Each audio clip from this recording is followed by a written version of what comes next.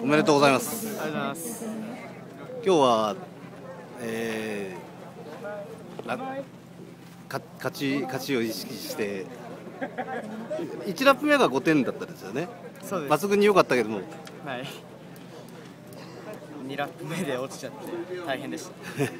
3ラップ目はあの決勝は、決勝も結構調子よくて、えバイクも良かったんで、えまあ満足してます、え。じゃあ今日の勝利は？安泰という感じで。はい。まあ狙ってたんで良かったです。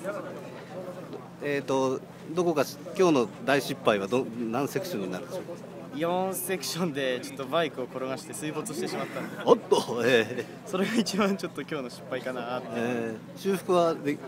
私服はなんとか親父がやってくれたんで良かったです。会心の、えートライは？配信はいやーやっぱ3ラップ目からですかね。うん。気持ち整えて頑張った。なるほど。はい。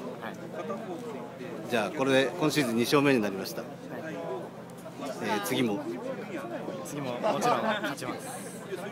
じゃあ期待してます。ありがとうございました